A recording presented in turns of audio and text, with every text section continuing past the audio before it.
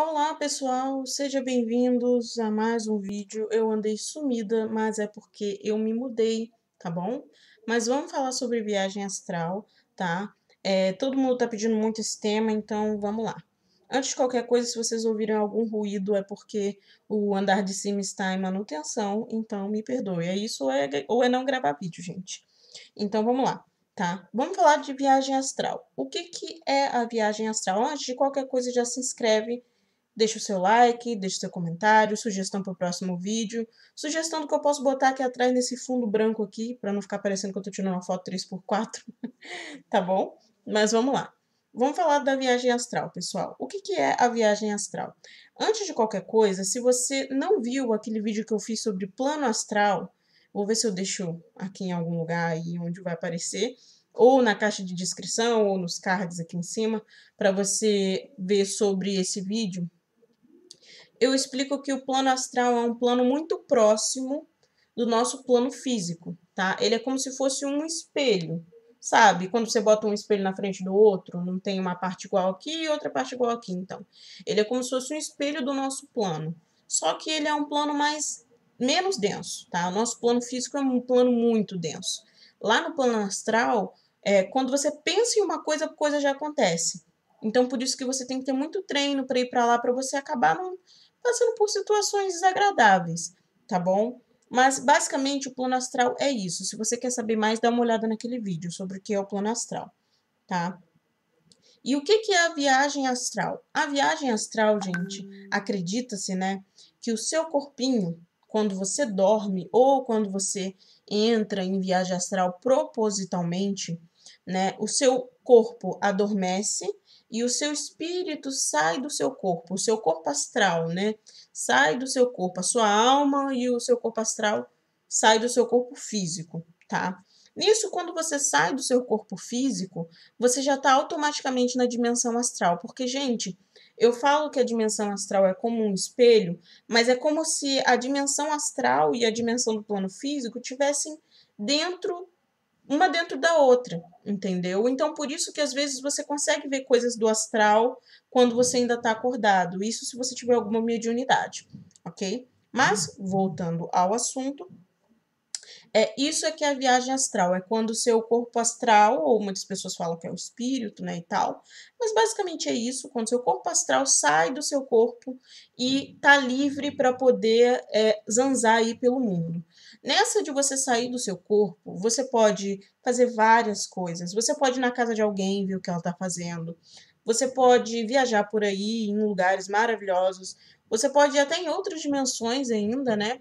Você pode encontrar com o seu mentor espiritual, com os dragões, com várias coisas. Você pode fazer várias coisas interessantes quando você sai do seu corpo, tá? Você pode fazer feitiços, você pode fazer magia, você pode ir em alguém, né, para poder passar alguma energia para essa pessoa, você pode encontrar com outra pessoa no plano astral.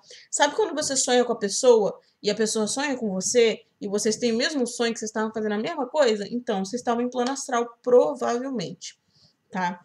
Era lá que vocês estavam fazendo, sei lá, se encontrando, fazendo alguma coisa. Só que tem uma coisa, gente, nem sempre quando você sai em plano astral, você vai lembrar do que você fez. Muitas pessoas já nascem com o dom de fazer viagem astral.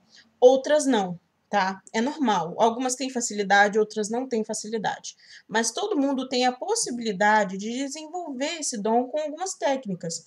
Basta só você estudar sobre isso e pesquisar bastante. Mas assim, já vou avisar, não é uma coisa que você aprende do dia para o outro, tá? Eu, por exemplo, não tenho facilidade nenhuma com viagem astral. Mas com muito estudo, com muita prática, com muita dedicação, eu consegui evoluir um pouquinho aí no meu treinamento astral, tá bom? Eu fiquei cerca de seis meses direto treinando e fazendo técnica, técnica, técnica atrás de técnica para conseguir ter assim algum resultado.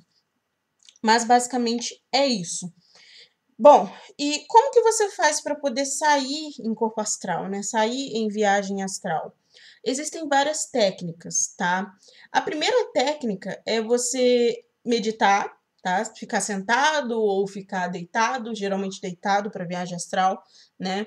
E aí você é, mentalizar, né? É, relaxar bastante e começar a mentalizar que o seu espírito está saindo do seu corpo. Essa é a técnica mais fácil, porém não é a que funciona mais, tá bom? Existem várias outras técnicas. A ideia é que você chegue num estado vibracional, um estado de relaxamento tão grande que o seu espírito, o seu corpo astral vai se sentir relaxado para poder sair do seu corpo. Mas nessa, gente, pode acontecer de você dormir no, no processo, Pode acontecer de você sair e não lembrar. Então, tem que treinar muito para você chegar numa prática a ponto de você conseguir sair, voltar conscientemente e ainda lembrar do que você fez, tá bom? Porque tem isso também, tem as pessoas que saem em corpo astral consciente, deitam e falam, ah, vou sair do corpo e sai, tá? E tem as pessoas que vão dormir e acabam viajando, né, fazendo a viagem astral. Eu sou dessas. Eu não saio conscientemente, nunca, nunca, quase nunca consegui sair conscientemente. Eu sempre consegui sair é, pensando é, que eu ia sair no sonho, eu durmo com a intenção de sair do corpo e acabo saindo, entendeu? Mas nem sempre eu lembro do que eu faço, infelizmente. Eu vou fazer um vídeo ainda sobre técnicas, mas eu já vou deixar aqui uma técnica bem fácil, um, algumas né, técnicas sobre como você sai na viagem astral. Uma das, das técnicas assim que mais funcionou para mim foi a técnica de você dormir, primeiro dorme uma noite inteira, e aí quando você acordar, você faz uma meditação para você relaxar e aí dorme com aquela intenção de que você vai sair do corpo. Entendeu? Porque aí você já não vai estar tá tão cansado. Porque quando o seu corpo está muito cansado, acontece de você simplesmente apagar. Apagar geral e nem sair do corpo. Entendeu? Apesar de que algumas pessoas dizem que você sempre sai do corpo, independente da noite que você passa, independente de você. É, do que de você querer sair do seu corpo ou não, você sempre sai um pouco do seu corpo, porque o seu corpo físico precisa relaxar precisa descansar do seu espírito por alguns momentos. Nem, nem o seu próprio corpo te aguenta. Essa é a verdade. Então, basicamente é isso. Mas as técnicas, é, tem essa técnica, né? Essa é a técnica que mais funciona para mim, é tentar tirar um cochilo. Eu sempre saio em viagem astral depois que eu já dormi muito. Quando eu tiro um cochilo depois do sono mesmo. Isso é muito bom para mim, sempre funciona, tá? E também tem uma técnica de você é, relaxar, deitar, relaxar, entrar em estado meditativo, tá?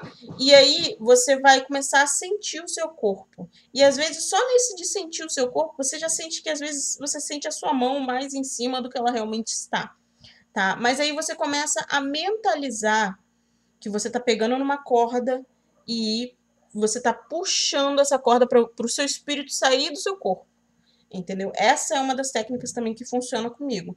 Eu tenho a sensação de que eu tô puxando, eu mentalizo que eu tô puxando uma corda e que eu tô saindo, meu espírito tá saindo do corpo e eu tô deixando o corpo físico. Essa é uma técnica interessante também, tá? É, bom, outra técnica, deixa eu lembrar aqui. Hum, não tem outra técnica agora fácil de cabeça, mas são essas duas técnicas. De você meditar e, e mentalizar que você está puxando uma corda, mas você tem que estar tá num estado de relaxamento muito bom, tá? Muito bom para você conseguir fazer isso de forma consciente, se você tiver facilidade. Agora, se você não tiver facilidade, você provavelmente só vai conseguir sair do seu corpo conscientemente, né? Lembrar que você saiu do seu corpo quando você tira um cochilo depois de uma grande noite de sono, ok? Quando você, tipo, sábado, domingo, você não tem nada pra fazer, acordou, ainda tá com sono, tira outro cochilo com a intenção de sair do corpo. Com a intenção de que você vai lembrar do seu sonho, tá? Ah, outra coisa também. É, primeira, uma técnica muito boa para você fazer viagem astral é você treinar sonhos lúcidos. E como você treina os sonhos lúcidos? Sonhos lúcidos você tem que treinar enquanto você está acordada, tá? Os sonhos lúcidos é basicamente você é, acostumar o seu cérebro a sempre se questionar se você tá sonhando ou não. Então, tipo assim, tá dentro do ônibus? Será que eu tô sonhando? Aí, tipo, sei lá, puxa o seu dedo. Se vo... Porque no plano astral, se você puxar o seu dedo, seu dedo vai esticar. O plano astral é muito doido. é muito leve. Então, ou tenta voar. Se você voar, é porque você tá sonhando. Se você não voar, você não tá sonhando. Mas eu sei que parece doido, mas quando você começa a fazer isso sempre, sempre, sempre, sempre, mesmo você estando acordado, sempre que você estiver acordado, você se questionar se você está sonhando ou não, quando você estiver realmente dormindo e sonhando, você vai começar a se questionar se você está sonhando ou não também, porque vai ser uma coisa natural para você se questionar se você está sonhando ou não. E aí nessa você vai começar a perceber que você está sonhando, porque é muito fácil você perceber que você está sonhando. Sempre tem alguma coisa esquisita no seu sonho. Quando você puxa o seu dedo, o seu dedo estica. Quando você tenta voar, você voa. Entendeu? Essas, essa técnica é muito boa, funcionou muito comigo para melhorar as minhas técnicas de viagem astral. Mas vamos lá, pessoal. Vamos falar sobre os riscos da viagem astral, tá? Outro tópico muito interessante.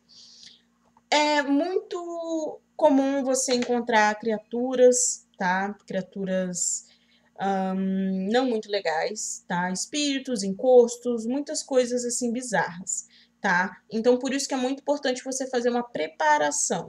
O que, que é essa preparação? Fazer uma limpeza energética, né, fazer uma, uma, alguma técnica de limpeza energética, um aterramento, fazer uma oração, seja lá para quem você acredita, para os dragões, para o seu Deus, para, sei lá, quem você acredita, pedir para os seus mentores te proteger durante essa sua viagem astral, para tudo dar certo ok? E para ter sempre um mentor ali com você para ele poder estar tá te auxiliando caso venha algum espírito tenso te perturbar. E, bom, e é isso. Bom, é isso. Outra coisa que é muito interessante você trabalhar, gente, é o seu pensamento limitante, tá bom? Eu tô parando para pensar aqui porque é muita coisa. É o seu pensamento limitante. Você tem que tirar essa coisa de que você nunca vai conseguir. Se você já acha que você nunca vai conseguir sair do corpo, você nunca vai conseguir sair do seu corpo, ok? Lembre-se, o plano astral é muito leve. É um plano muito leve. Então, se você tem uma mísera, mísera sementinha de, vamos dizer assim, de crença que você não vai sair do seu corpo, você não vai sair do seu corpo. Entendeu? Então você tem que começar a trabalhar os seus pensamentos limitantes para você conseguir sair do seu corpo tá bom? Bom, esse foi só um vídeo de introdução à viagem astral. Eu sei que tem muito mais coisa para dizer. Eu sei que tem muitas outras coisas que eu poderia ter dito. Se você tem alguma dúvida, já deixa aí nos comentários. Mas, gente, é aquilo. Eu acabei de me mudar. Tô fazendo um vídeo aqui só para vocês não ficarem sem vídeo mesmo e para responder essas dúvidas que tem pessoas me perguntando. Mas é isso, espero que vocês gostem. Deixe seus comentários aí sobre dúvidas, sugestões, qual o próximo vídeo vocês querem. Ah, outra coisa, eu tô querendo fazer um vídeo sobre tarot grátis. De novo, igual aquele que eu fiz outro sobre amor. Então, se você tem um tema aí que você queira, é só deixar nos comentários, ok? Então é isso. Segue a gente, deixa seus comentários, tá? Se inscreve e segue a gente lá no Instagram também. Bye. Tchauzinho.